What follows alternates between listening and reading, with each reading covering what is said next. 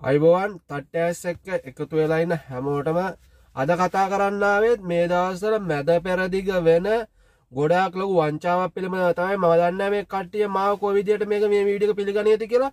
නමුත් මං කතා කරන්න ඇත්ත ඇත්ත කියන්න වෙච්ච සිද්ධියක් මුල් කරගෙනතය මම එක කරන්නේ. ඉතින් මේ දවස්සර මැද පැරදිග අපේ අම්මලාව විකුණනවා පුදුම ගණන් වලට. ඒ විකුරන්නේ මොන විදිහරද කියලා කියන්න තැම මේ හදන්නේ. පුළුවන්නම් මගේ වීඩිය අවසානතෙක් බලන්න ලයික් කරන්න කමන්ට් කරන්න. පුළුවන්නම් අදහසත් තිෙනවා ලියල යන්න. ඔයත් මේ ප්‍රශ්නට මුණදීලා තියෙනවනම් ඔයත් මේ වගේ කෙනෙක් නම් ඔය අනිවාරෙන් මේක අදහසක් ලියලා යන්න අනිවාරයෙන්. ඒනම් අපි කතා කරුම් විඩියෝ බන්ධි කියලා. මේ දවසල ඉදිරියට එනවා රාමසා නුත්සවේ මේ දවසල වැඩකාරියෝ කදම්ම කියන්නේ කදම්මල මාර මාකට්. ඩිනාර් තුන්සීයට දෙසිය පණහට මේ දවස්සල යනවා මාකට් එක. ඒක දෙකත් තියෙනවා ගෙදර වැඩ කරනව කට්ටිය වෙන ඒ කියන්නේ ගෙදර සුද්ද පවිත්තර කන්න කට්ටිය ඩිනා දෙසිය පණහයි කෑම වියන කට්ටිය ඩිනාත් තුන්සීයයි. හරිද? ඒක කරන්නේ කොහොමද? මේ අපේ අම්මල ඉන්නවා ගෙදර රස්සාාවට ඇහිල්ලා ඊට පස්සේ ගෙවල් හොඳ නෑ කියලා. ඒගොල්ලො පයින එලියට එලියට පැනලා කවුරු හරි එල්ලියන්න පුද්ගලයන් පිරිසක්කින්න මේ වීඩියකත් බලයි අනිවාරෙන් ඕගොල්ලෝ. ඕගොල්ලො තැන් ගැන තමයි මේ කියන්නේ. මං ගැන මොනව හිතුවත් මට අදාල නෑ ඕගොල්ලො කරන්නේ එලිය තියෙනවා කාමර. කාමරයක් අරගෙන මේ වගේ කාන්තාවන් තුන් හත දෙනෙක් එකතු කරලා ඕගොල්ලො පටන් ගන්නවා බිස්නස් එක. බිස්නස් එක මොකක්ද අර අම්මල තුන් හතර දෙනෙක් එකතු කරගෙන කාමරයකට දාලා එක කාමරයකට ඩිනාරසුවයි මේ ඩිනාරසුවෙන් අඩු තමයි කාමර තින ඩිනාසියටත් තිනවා ඉතින් ඇත්තම ගෙනන් දැන් ඩිනාර් සීයක් කියන්නේ ලංකාසල්ලේ රුපියල් හැට පන්දාහක් හරිද? චොට හිතල බලන්න අපි මොනතරම් වැරදි කරනවාදි කියල මේ රටවල්ල අපි සල්ලි මොන විදතාපේ නැතිවෙන කළ හිතන්න. හරිද? ඊට පස්සේ කාමරවල ඉඳගෙන ඊට පස්සේ අර පුද්ගලයන් මේ කුවට් ජාතිකයන් සම්බන්ධ කරගෙන ඒගොල්ලො අර අම්මලා විකුණනවා.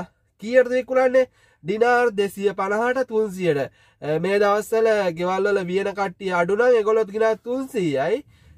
ගෙවල්ල සුද්ද පවිත්‍රකට එයා දෙසිය පණහයි අර අපේ යන අම්ම කෙනෙකුට හම්බෙන්නේ සමහරක්කිට ඔය දෙසිය පණහැන් දිනා දෙසියක් එන්න පුළුවන්. දිනා දෙසි තුන්සිය ගන්න කෙනගෙන් දිනා දෙසිය පණහක් විතරයි. එතකොට අර ඉතුරු පණහ යන්න කාටද? අර ගෙවල්වලට අරයා බෙදාහරණ කෙනාට. ඉතින් මේක මේ විදියට වෙන්නෑ කියනනම් ගුවට්ටගේ මේ මම කියන්න බොරුවක් එන්නවන මේ වීඩියක බලයි ගොඩක් කට්ටියම හිතනවා බලයි කියලා. ඒගොල්ලොත් අනිවාරය මේ දේට මුණදිලා ඇති.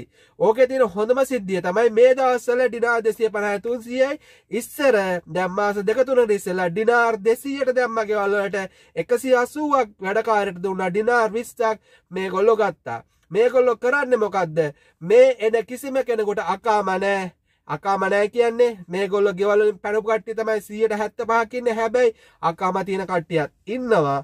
ඒ ගොල්ලෝ ගෙවල්ලට ගිහිල්ලා මාස වැඩ කරලා අරිස්ථානය මිදිල වෙන තැනකට යනවා. ඉතින් මේ මේ වගේ රෝලක් තමයි මෙතන යන්න.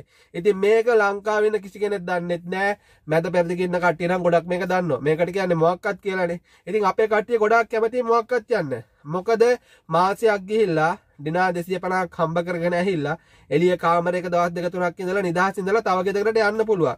මේක තියෙන අනිත් පැත්ත තමයි ඊට පස්සේ මේ ගොල්ලො කරන්නේ අර අකාම නැතුව අවුරුදු ගණන් එලිය ඉඳලා ඊට පස්සේ යනවත් ශ්‍රී ලංකා තානාපති කාර්යාලයට ශ්‍රී ලංකා තානාපති කාර්යාලය කියන්නේ මේ යන යන පාට එන පුද්ගලයන් බාරගන්න තරන්නෙේ ඔයාට ගෙදර ප්‍රශ්නයක් කියලා ඔයා ඒ දවස ඇතුළද තානාපති කාරයාලට කියවති අනිවාරය ගොළොඟ බාරගන්නවා ඉතින් ඊට පස්සේ චෝදනා කරනවා අපිට ලංකාවට යන්න දෙන්න අපිට මෙහ ප්‍රශ්න අපිට මේ ප්‍රශ්න කියලා ගොඩක් කට්ටිය කෑ ගනවා ඉතින් ඔය සිද්ධිය තමයි වෙන්න. ඉතින් කියනව කට්ටියට මේ වගේ දේවල් කරනකොට පොඩ්ඩක් දුරදික බලල කරන්න. මොකද මේ දවස්සල ලංකාව කට්ටිය ඉන්දියාව කට්ටිය මැද පැරදිගෙන ගොඩක් අම්මල තාත්තල ගොඩක් ලොක් මුදල්ලට විකිනෙනවා. ඒ මිනිස්සුන්ගේ හම්බ කරන් කන නිකමුන්ට මම මේ කියන්නේ. ඔය වැඩේ කරනවනම් ඒ හම්බ කරගන්න සල්ලිවලින් ඔගොල ඩිනාර් විස්සක් පණහක් ගන්නවනම් ඔගොල්ල පස් දෙනෙක් හැනල් කරනවනම් ඔගොලොට ඩිනා දෙසිය පණහක් නිකං එනවා. නමුත් අර අම්මල ඕන අර කාමරට කිය සල්ලි ගෙවන්න.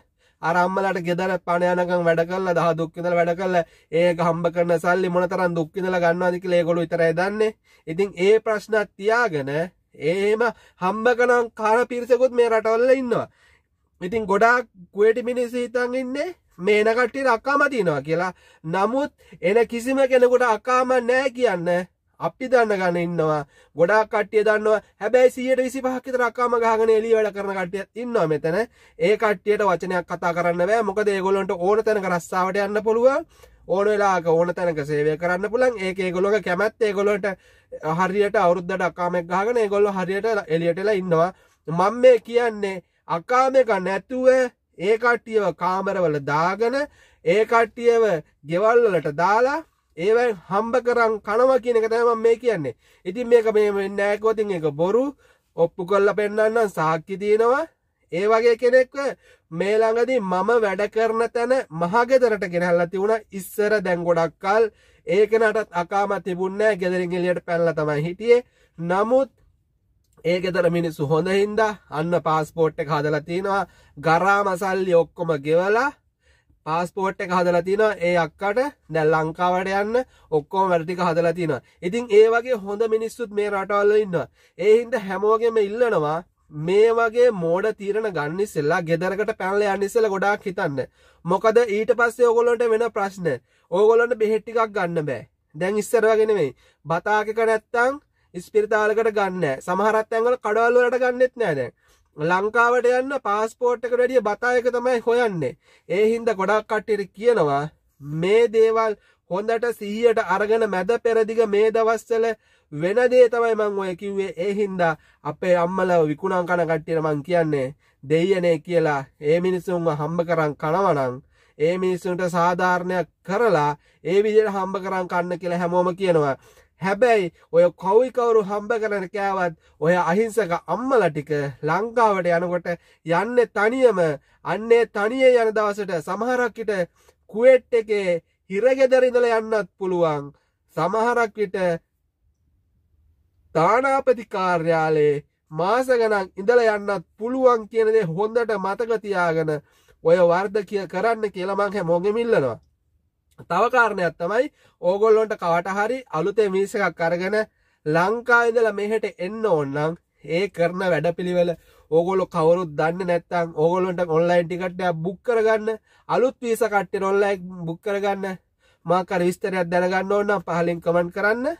අනිවාරෙන් මම ඊළඟ වීඩියකින් අරගෙනවා අලුත් වීඩිය අලුත් අලුතෙන් එන කෙනෙකුට කොහොමද වැඩ ටික කරගන්න? කොහොමද ටිකට බුක් කරගන්න? ඔගොල් මැද පැදික මේ කුවට ඉන්න කෙනෙක් ඔගොලු දන්නත් හෙම ටිකට බුක් කරගන්න තැනක් තිනවන ම ඔගොලොන්ට විශවාසන වන්තනය තැනත් දෙන්න ඊළඟ විඩියක විස්තර අරගන්න ඒනං ඉතින් සමාජයේ අයුත්‍ය අසාධාරණය මැද පැදික ලංකායි ලෝකය ඕනම තැනක අපේ කට්ටියට වෙන අසාධාරණයක් තියෙනවනම් කතාගල් අපිට කියන්න. අපි ඒක අපේ චරලය හර ඔගොලොන්ට එලියට දාලා දෙන්නම්.